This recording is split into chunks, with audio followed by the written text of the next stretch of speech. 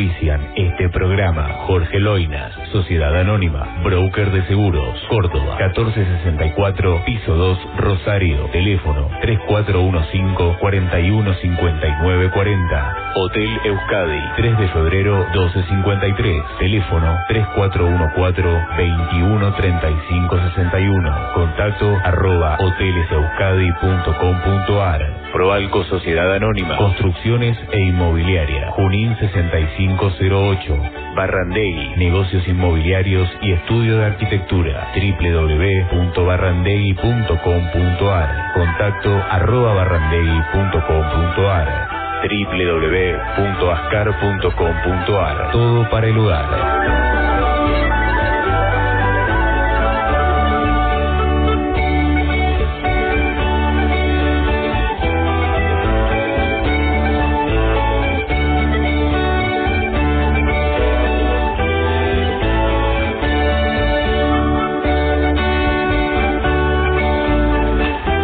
Buen día a todos, según Hola Cristina.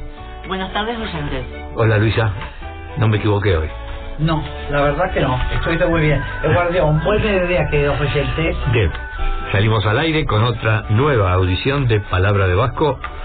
Gora Euskal voz oficial del Centro Vasco Saspirabat de Rosario. Luis María Barrandegui, quien les está hablando, les recuerdo que estamos saliendo y transmitiendo esta audición por AM Libertad en 1090 kHz. Audición que ustedes podrán seguir por www.am Libertad y www.saspirabat.com. Siempre por internet y escuchando las voces de este conjunto de vascos que siempre trata de llegar a ustedes con lo más nuevo.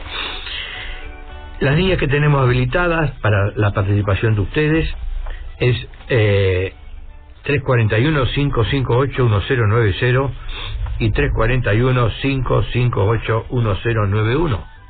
Del exterior deberán anticipar el código 54. Seguiremos siempre transmitiendo para la comunidad vasca de Rosario y su región, como siempre con reportajes a figuras políticas de Euskadi, notas de interés sobre la marcha de la Euskal Echea buena música vasca y cuanto pudiese interesar a los vascos y amigos. Yo quiero decirle a ustedes que el martes pasado sacamos la primera parte de la entrevista que hicimos con Miquel Ejerro. Hoy trataremos de completar con la segunda parte y de esa manera todo lo que él nos contó que es siempre muy valioso. Eh, nuestra secretaría, como siempre les digo, para cualquier trámite que necesiten. Está ubicada en calle Entre Río 12 y 1 y la atención es de lunes a viernes de 17 a 20 horas. El teléfono es 421-7670. Siempre les recuerdo a ustedes, el correo electrónico es saspirabat.com. La página web es www.saspirabat.com. El correo electrónico de Palabra de Vasco es palabra arroba Bueno, ahora sí de lleno vamos a empezar. Le voy a dar la, de izquierda, como siempre digo, a Luisa, que comienza ella. Adelante, Luisa. Hoy es el Día del Operador de Radio y celebran su día en homenaje al creador del sistema Morse. Ellos tienen una labor imprescindible para que las emisoras lleguen a cada rincón del planeta. Estos trabajadores suelen tener un bajo perfil, pues están del otro lado de la ventana, sumidos en un mundo de botones multicolores y de pantallas que iluminan los oscuros habitáculos en el que pasan sus días y sus noches. Su trabajo se basa en el arte de mezclar y optimizar las voces, la música, las publicidades para transformarlas en una agradable y cálida compañía para los oyentes. Felicidades, Eduardo. Eduardo nos está saludando atrás del vídeo, como dijimos, este, nos está levantando la mano y verdaderamente Eduardo aguantarnos a nosotros como a veces decís no tenés, tenés si, no fuera por él, si no fuera por él, esta audición sería imposible. sí, la verdad que con Eduardo tenemos siempre un lindo feeling y, estamos tratando siempre de, de, hacer de lo mejor. Por supuesto. Bueno, algo que voy a empezar, en vez de dejarlo para el último, al comienzo es el fútbol Bueno, en la liga. Ha terminado el campeonato, tal cual yo le fui adelantando, el Alavés descendió, descendió de categoría.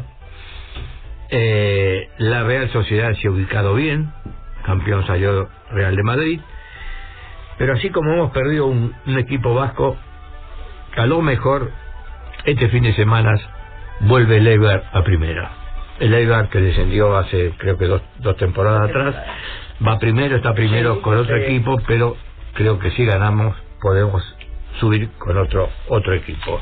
Y ya que de fútbol estás hablando, acabo de escuchar esta mañana que la selección argentina que se prepara para jugar contra Italia la semana próxima eh, va a entrenar en el Samamés y probablemente haya un partido de práctica a puertas abiertas. Bueno, eh, cuando vine hoy le comentaba a estas dos chicas que tengo que le voy a pedir a, a Eduardo que me haga escuchar algo que pasé hace mucho tiempo. Alguien me dijo, ya lo pasaste, sí, pero lo pasamos hace dos años, este, Luis. Así que es una canción que me gusta mucho y verdaderamente me hizo recordar mucho a mi infancia. Así que Eduardo, cuando vos quieras, si no te falta la patita de atrás, hacémela escuchar.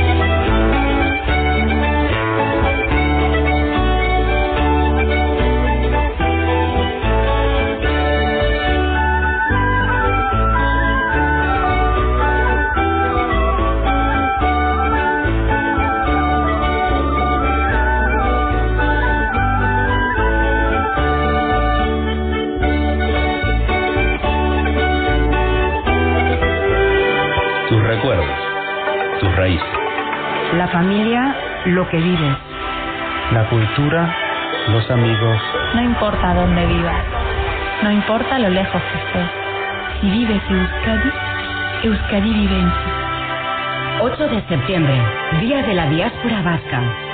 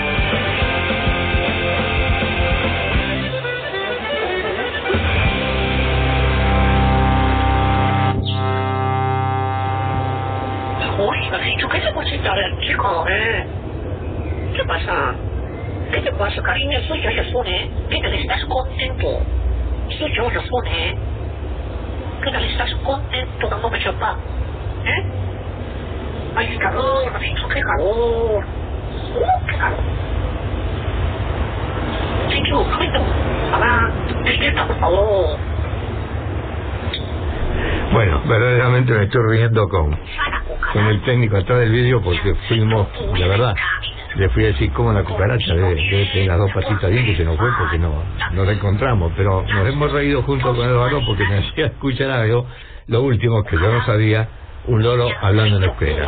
Verdaderamente este, hemos descubierto algo y ya tenemos este, para, para divertirnos. Bueno, eh, ustedes saben que ante la proximidad del 25 de mayo, este, nosotros en la radio Vascos Argentinos tenemos que recordarle a ustedes que mañana es la fecha patria.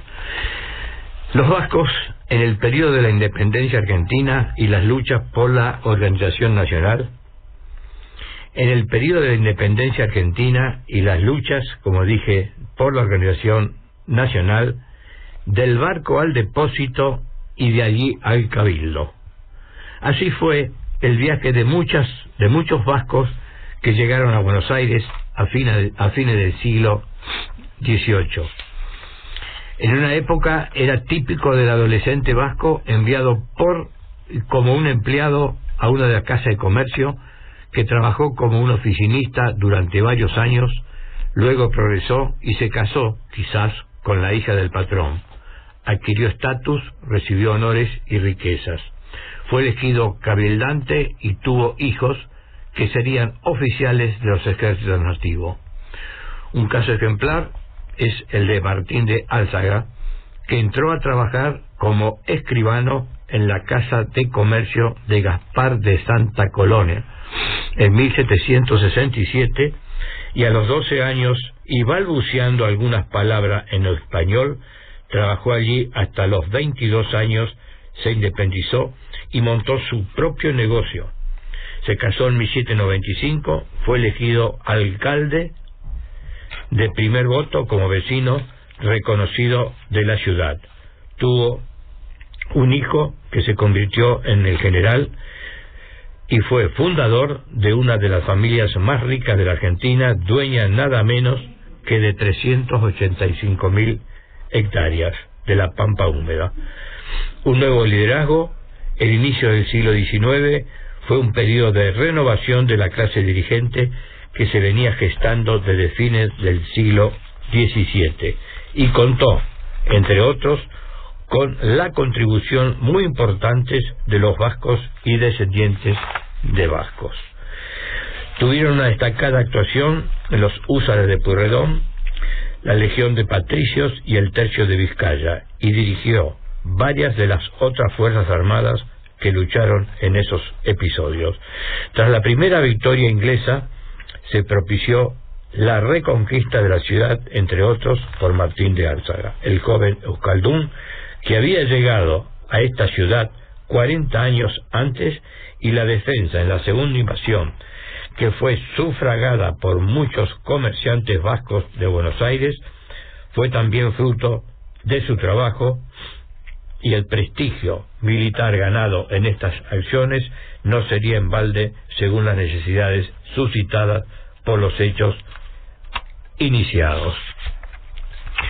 Los vascos estuvieron entre los líderes que participaron en todo este proceso a través de de la acción y las ideas. A veces, el primer lugar y siempre con una cuota de relevancia, Miguel de Ascuénaga Vaso y Juan de la Rea, ambos hijos de vascos, estuvieron en la primera junta, el primer gobierno autónomo argentino de nueve miembros formados el 25 de mayo de 1810. También había vascos en la Junta Grande, con trece miembros más que la primera junta, que estaba integrada por Francisco Antonio de Gurruchaga, Juan Ignacio Gorriti y Pedro Francisco Uriarte, por citar solo los apellidos vascos. Había otros descendientes vascos, como ser Manuel de Zarratea, que participó en la siguiente en el gobierno del primer triunvirato de 1811 y este mismo hombre fue gobernador posterior en 1820. Era también de origen vasco, nieto, otro de los 17 gobernadores que sucedieron entre 1820 y 1835. Juan Lavalle, gobernador entre 1828 y 1829, de importancia acción militar en las guerras de la independencia y muchos vascos intervinieron en varios de los intentos de organización constitucional realizados durante estos años. Desde 1835 hasta 1852, el poder en Buenos Aires estuvo bajo el mando firme de Juan Manuel de Rosas, quien estaba casado con una hija vasca de gran carácter y acompañaba en todos sus a su marido, Encarnación Escurra. Por esos años, la oposición a Rosas encontró un referente fundamental en Esteban Echeverría, introductor del romanticismo en el Río de la Plata, y en el mismo grupo de Echeverría estaba quien fuera el inspirador de la Constitución Nacional, hijo de Vasco, Juan Bautista Alberdi Araoz. Los vascos tuvieron también una fuerza destacada en los ejércitos nacionales que libraron la guerra de la independencia durante los primeros años de la revolución. Trajeron un número bastante elevado de oficiales entre los altos mandos militares que colaboraron con el general José de San Martín, cuya esposa, Remedios Escalada de la Quintana, tenía un 50% de sangre vasca también. El mismo seleccionó a numerosos y destacados vascos, al teniente José María Aguirre, general Gregorio Araoz de la Madrid, coronel Mariano José de Gainza, general de brigada Matías de Irigoyen y de la Quintana, general Lavalle, teniente coronel Toribio Luciriaga, general Mariano Necochea, coronel José Valentín, el bravo Olavarría, el coronel Félix de Olazábal, el coronel Manuel de Olazábal y el general de brigada Matías Sapiola, entre otros oficiales. Y en la lucha armada también intervinieron el general Martín Miguel de Güemes y, Goyechea y la, y la coronel, o el coronel ahora cambiado, la coronel Juana Azurduy, luminosa heroína de la lucha anti-española, defendiendo el avance de los ejércitos realistas en el norte del actual territorio argentino. En definitiva, es claro que todo el periodo comprendido entre 1810 y 1852, los vascos y descendientes de vascos actuaron de diversas formas en las diversas instancias de gobierno, en la oposición, en la acción militar y por la fuerza de sus ideas. Debemos nombrar también destacado al general Justo José de Urquiza. Justo José de Urquiza, caudillo militar y estadista, fue el vencedor de Rosas en la batalla de Caseros en febrero de 1852, que posibilitó la celebración del Congreso que dictó la Constitución en 1853 y el primer presidente en 1854 y 1860. Es una de las figuras clave en la historia de este país. Junto a San Martín y alguno más, forma el puñado de los principales hombres que desarrollaron la independencia. A, a esa lista yo agregaría a Vicente Anastasio Echeverría, que si bien eh, fue nació en Rosario, eh, fue integrante de la Real Audiencia en 1810. Eh, Vicente Anastasio Echeverría era de padre hijo de padre vasco, y su hermana fue la elegida por Manuel Belgrano para que bordara la, la bandera. La bandera. Bueno, yo voy a hacer una breve síntesis de la Revolución de Mayo. La Revolución de Mayo fue una serie de acontecimientos revolucionarios ocurridos en mayo de 1810 en la ciudad de Buenos Aires, capital del virreinato del Río de la Plata, y tuvo como consecuencia la destitución del virrey Baltasar Hidalgo de Cisneros, que fue reemplazado por la primera Junta de Gobierno. Los acontecimientos se sucedieron durante el transcurso de la llamada Semana de Mayo, entre el 18 de mayo, fecha oficial de la caída de la Junta Suprema Central, al 25 de mayo, fecha de la asunción de la primera Junta Provisional presidido por Cornelio Saavedra. Luego de varias sesiones a Cabildo Abierto, finalmente el 25 de mayo de 1810 se creó el primer gobierno vasco. Cabe destacar que muchos de los primeros miembros del gobierno patrio eran de descendencia vasca, como recién acaba de mencionar eh, Luis María. Cuando ayer eh, anoche estaba preparando esto para contárselo a nuestros amigos oyentes, yo pensaba y decía, muchos los nombres, uno de estos los conocía por los nombres de calles de la ciudad. ¿Ah? Porque ustedes se habrán dado cuenta que casi todos estos próceres, estos vascos, llevan nombre en las principales ciudades de la República Argentina, porque este, nos va a recorrer cualquiera de las ciudades que hemos nosotros... hay localidades que llevan sus nombres, o sea, eh, Necochea, Olavarría... Vos fíjate que yo hice hincapié en Olavarría, cuando lo nombré, yo no sabía que viste que era un tipo tan tan fuerte para, para la Revolución de Mayo y como prócer descendiente de Vasco, ¿no es cierto? Pero como yo empecé eh, esta introducción sobre los, los vascos y los hijos de Vasco, la inmigración vasca, esa fuerte, se produce en 1820 más o menos. Empieza no, antes, porque si en 1810 fue la revolución... Eh, eh, tenés razón, en 1700, perdón, me equivoqué, bueno. Que es como yo... Que no, no, de verdad, y yo empecé la introducción cuando decía, y se lo voy a recordar porque decía, del barco al depósito y de allí el cabildo. Es decir, eh, los vascos viejos que vinieron de allá, después tuvieron sus hijos, que son todos los que yo he nombrado, y que actuaron en, la gesta revolucionaria, de este país, ¿no es cierto? Pero ese era un dicho muy bueno. Del barco al depósito, ¿cuál era el depósito? Donde trabajaba. Y del depósito a la Organización Nacional.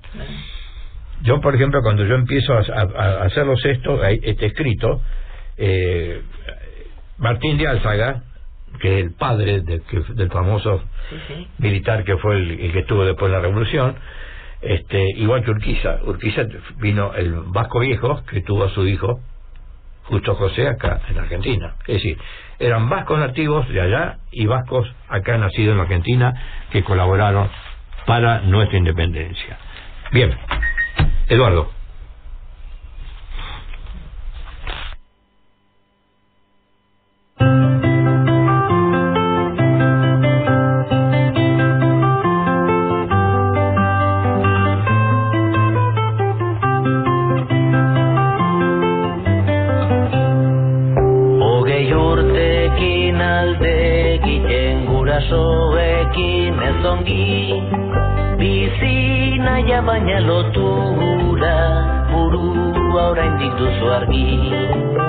zinela izan nahi eta ametsori beti burua Buruan bakarrik kanpagaliz, baitere bihoz barruan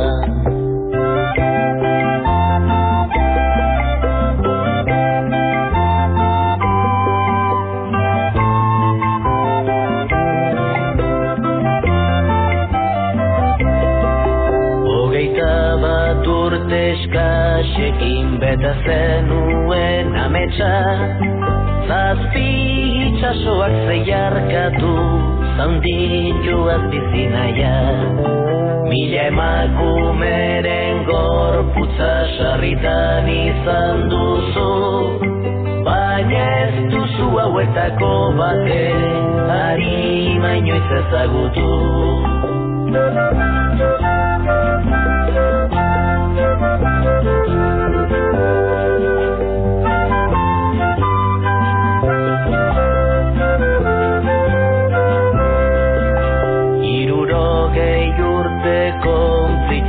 jadanik zaude trakes Indarrak galdu dituzu eta itxasoa usteko prest.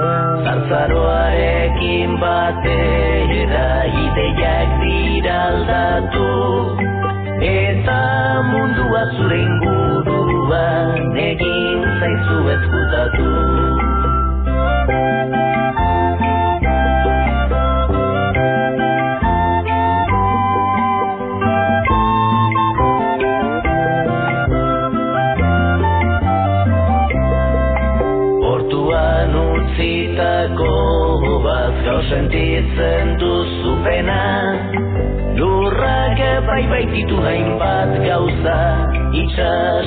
que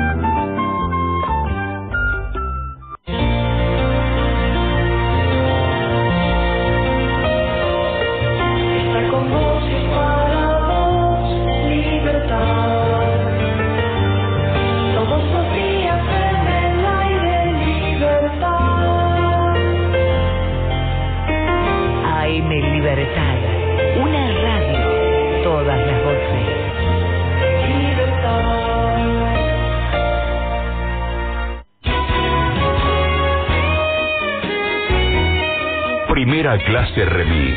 La mejor manera y el mejor precio para viajar. 454 54 54. Primera clase remis. Forma de renovar energía número 43. Sentarse a mirar las estrellas. Vení a San Juan y renovate en la ruta del cielo. Conoce más en sanjuan.tour.ar. San Juan, renueva tu energía. ECO, Emergencia y Prevención. Afíliese al 0800-888-3226. ECO, con el respaldo de Suite Medical Group. Oficinas de atención al cliente. Rioja 1315. Interclubes edición 2023 es una locura. Y tiene premios inigualables. Un departamento a estrenar en Rosario, amoblado y equipado, más un Toyota Etios. Viviendas de calidad. Autos de primeras marcas. Kits para el hogar, el estudio y la diversión. Hacemos felices ganadores. Porque Bingo Interclubes es un bingo. bingointerclubes.com.ar Comprando Bingo Interclubes, usted colabora con la contención y desarrollo de niños y jóvenes.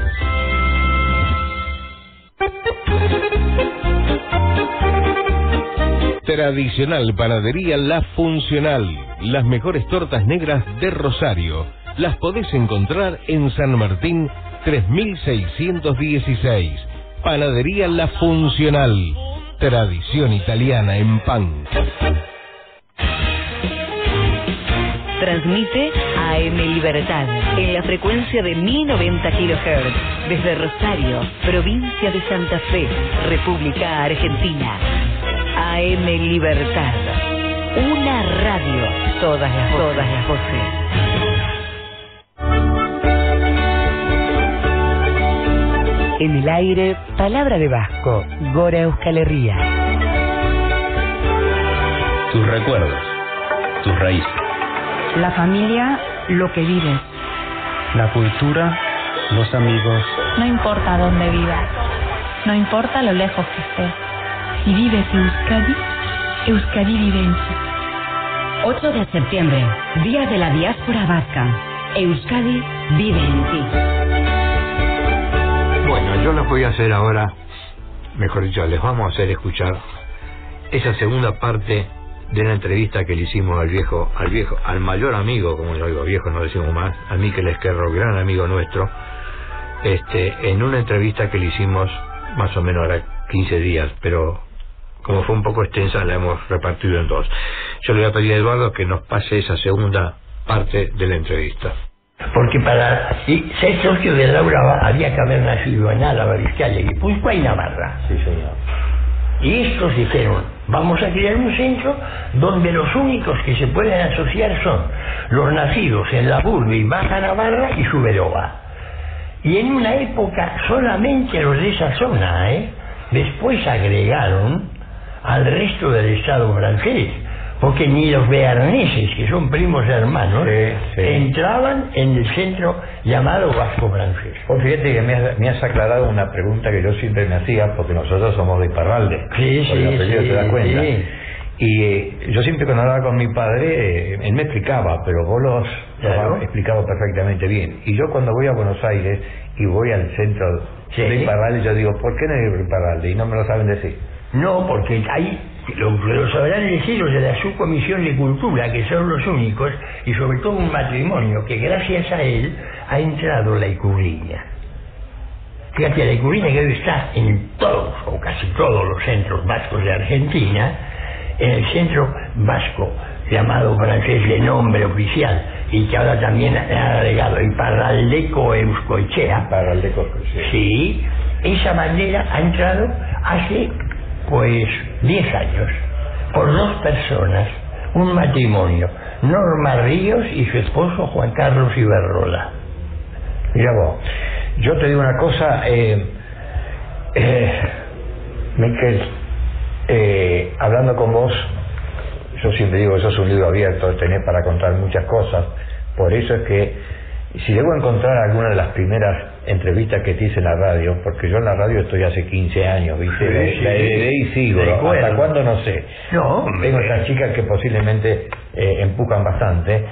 Eh, una vez supo decir eh, Ruli, Ruli, que vos lo conociste, sí. que nosotros éramos caraduras en la radio, porque decíamos que hacíamos radio. Sí, bueno, pero era el sentimiento, era, es- eran eh, eh, aficionados, no, tenían- no eran profesionales. No, son no, no, profesionales. no, y te digo una cosa, te, vos te lo cuento, cuando yo, por ejemplo, ya el lunes me pongo en la computadora a buscar Cosas, noticias sí. para, Sí, para la radio, este, que uno aprende mucho, eh, aprende muchísimo, este, se va dando cuenta que es lindo, pero yo digo, bueno, si me hubiera agarrado más joven, a lo mejor uno tenía más empuje. Pero ha sido, a ver, yo siempre me acuerdo de un gran hombre que lamentablemente fallecido, muy lamentable, porque era un- una mente al servicio de lo vasco y de su cultura y de su economía, etcétera, que visitó eh, eh, tu casa ahí en, en, en Funes. Me refiero a Sabine Inchaurraga. Sí, sí, sí. Y me acuerdo las veces que él se emocionó una vez profundamente, la primera vez que le invitaste, me acuerdo de aquellos perros, Otto. Sí, sí, Otto, sí. Otto, se me murió cuando Me acuerdo de la emoción que me la transmitió cuando salimos, Sabine Chauraga Mendívil, consejero del gobierno de Galeicochea, eh, consejero, un hombre gran, que le invitase a pisar en un mástil de curriña. Sí, sí, Y para- eh, fíjate, te estoy contando cosas. Fíjate, Miguel, que yo siempre digo, yo tengo en, en- en la entrada el mástil ese, y yo digo, cuando somos más de cinco vascos, vamos a poner el currín. Así que siempre cuando vienen visitantes como vos tuviste, Sí, sí. Ya. Ahí fue una gran emoción. Y te voy para lo de Rosario. Rosario, los fundadores dijeron, vamos a crear un centro vasco, pero un centro vasco para todos los vascos y sus residentes sin distinción de ningún límite. No hay separación, no hay límite. Somos lo mismo, porque somos lo mismo.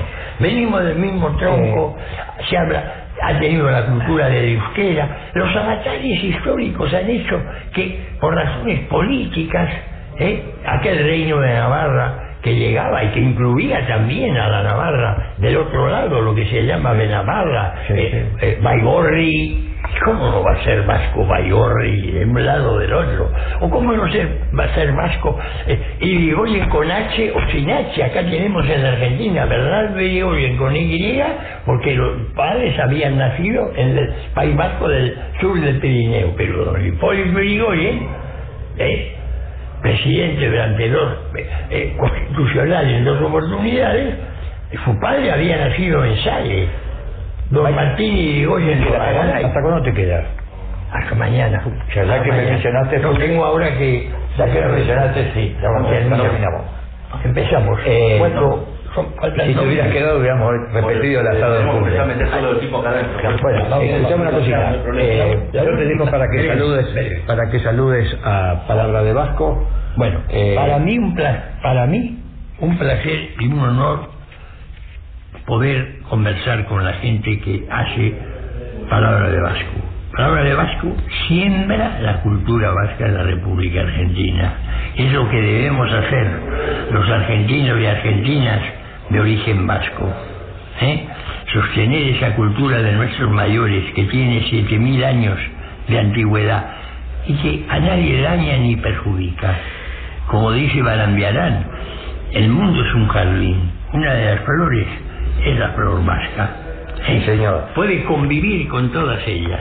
¿sí? Eh, Ese, lo que hacéis vosotros en Rosario, perdón, Barandegui, es una labor fantástica que merece todo el apoyo de la gente, de no solamente de los argentinos de origen vasco, también de argentinos de otros orígenes y demás, pero que sienten un profundo respeto hacia aquellos hombres vascos que un día emigraron del país para contribuir junto con todos los demás otros pueblos al desarrollo no solo material del cual se conoce, sino también cultural de la República Argentina. Bueno, Mi- Mick Baquel, prometeme que vas a venir otra vez y te vas a quedar un par de días así. Bueno. Vamos a comer un asado allá donde te ¿Cómo gusta a no? vos. Palabra de Vasco.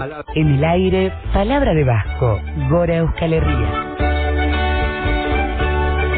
Bueno, eh, hemos llegado. eh, con estas palabras va a haber algo pendiente con Miquel que la seguiremos. Ya te- Recién hablamos con Cristina. En directo.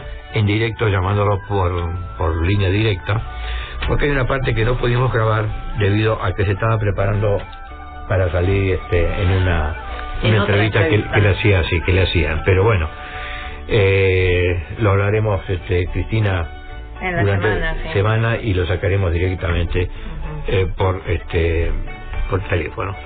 Luisa, Bueno, miles de manifestantes reivindican poder vivir en euskera bajo el lema Euskara aurrera, que quiere decir adelante con el euskera, reclamando que el euskera se convierta en una lengua para la cohesión social. Y han pedido a la Administración que ponga en marcha políticas lingüísticas que garanticen el derecho de vivir en euskera de una manera normalizada y eficaz cuanto antes. La concentración fue en Donostia, en el túnel del Antiguo, y luego de recorrer varias calles, finalizó en el Boulevard Donostiarra, donde el acto fue clausurado por la lectura de un manifiesto. A esta llamada se sumaron los principales referentes del entorno euskalsale e incluso jóvenes estudiantes de Iparralde. Los manifestantes consideran que es hora de activar y organizar el euskera para dar paso hacia una euskaldunización con un idioma fuerte, organizado y reformado. gracias, gracias Luisa. Estaba viendo también, eh, leyendo eh, los movimientos y los preparativos para San Fermín. No sé si ustedes vieron algo.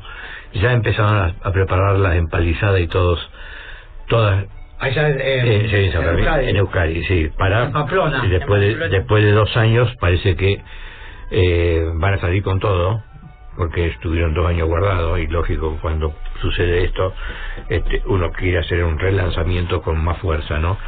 Pero también veía que han empezado las pintadas.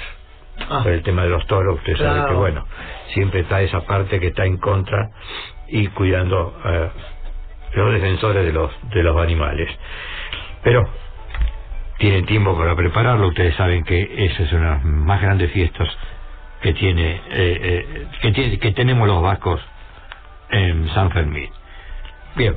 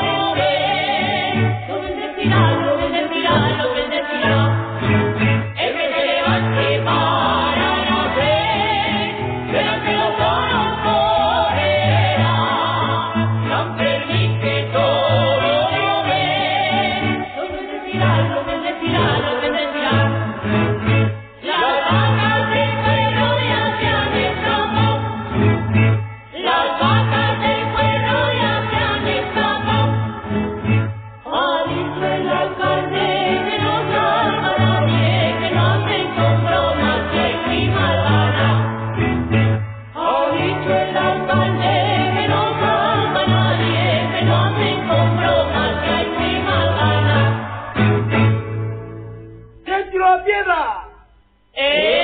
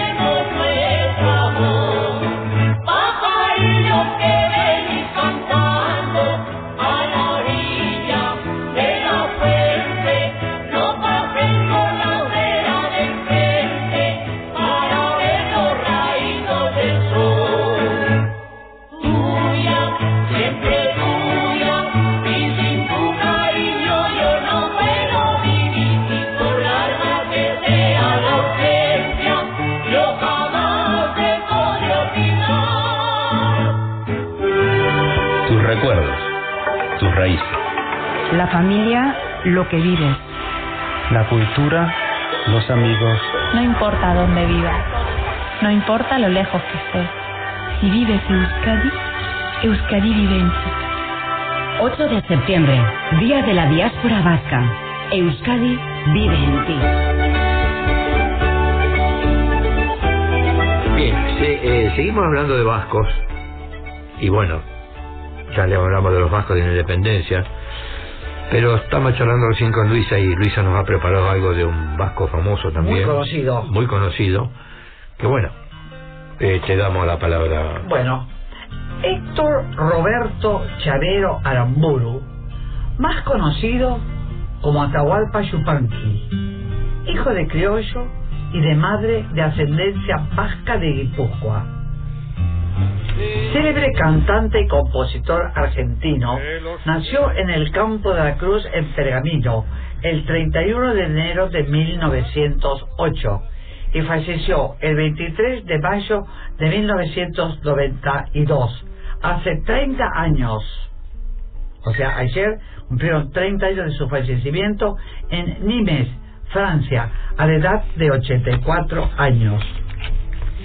Eligió su nombre artístico homenajeando a los indígenas americanos, Atahualpa por ser el último soberano inca y Yupanqui que significa narrada. El vasco argentino Atahualpa Yupanqui llegó a ser uno de los cantantes más conocidos y entrañables del cono sur.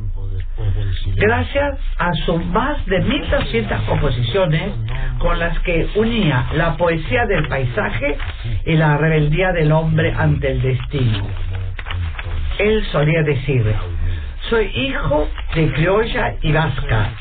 Llevo en mi sangre el silencio del mestizo y la tenacidad del vasco.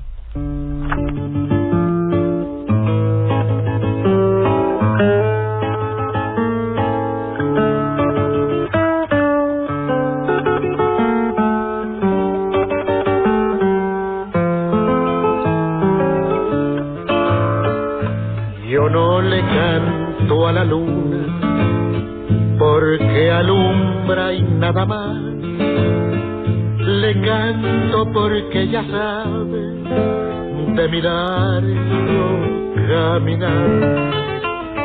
Le canto porque ya sabe de mirarlo caminar. Ay, lunita tucumana, tamborcito calchaquí, compañera de los gauchos en las sendas de Tafí, de los gauchos en las sendas de Tafí, perdido en las cerrazones, quién sabe vidita por dónde andaré.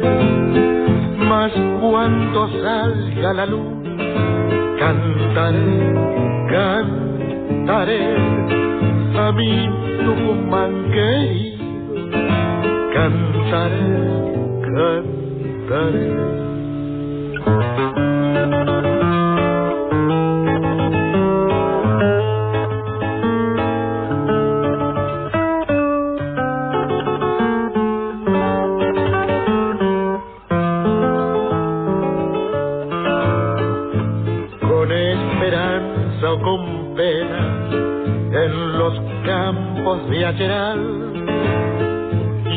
Visto a la luna buena besando el cañaveral.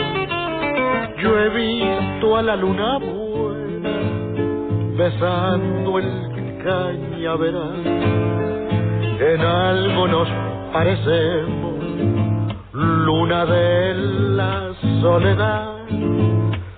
Yo voy andando y cantando, que es mi modo de alumbrar. Yo voy andando y cantando, que es mi modo de alumbrar. Perdido en las razones, quién sabe vidita por dónde andaré. Mas cuando salga la luna, cantaré, cantaré a mi Tucumán querido, cantaré, cantaré. En el aire, palabra de Vasco, Gora Euskal Herria. Sí, vamos a. Ahora estamos charlando recién porque mientras pasa música entre nosotros eh, tratamos de, de Nos buscar- organizamos. No, sí, tratando de, de que ustedes vayan interesándose de muchas de las cosas que vamos a pasar. Recién, la otra vez, la vez pasada, cuando hablábamos con, con Cristina y Luisa sobre el chacolí que se iba a fabricar ahora en latas, Sí. ¿te acuerdas que se sí, lo comenté? sí. Todavía no no he visto, todavía no, no, he podido buscar Estaban en este- eso, estaban en el eso. otro día estaba programando a Aris eh, Euskadi, le iba a llamar a ver si me podía dar algún avance sobre el chacolí, si verdaderamente ya estaba en las latitas de, de, de las tónicas o de la cerveza que estás haciendo. Entonces, hablando con Luisa, me estaba diciendo que preparó algo sobre el cinzano. Entonces vamos a tomar un vermú con Luisa y Un con, con, con ustedes los oyentes. El mejor vermut preparado con esencia de Bilbao. El domingo 15 finalizó la oportunidad de acercarse a algunos de los 117 establecimientos participantes de la octava ruta del vermut preparado sin sano para probar sus creaciones únicas y artesanas. Participaron bares de distintos municipios de Vizcaya y, eh, a partir de una base de vermut sano combinaron con ingredientes que mezclados nos transportan a Bilbao a través del aroma y del paladar. Las creaciones vermuteras se acompañan con un pincho propuesto por el propio local.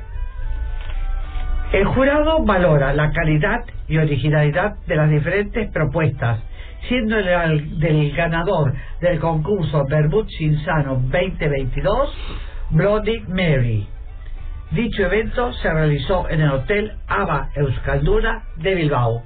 Bien, momento.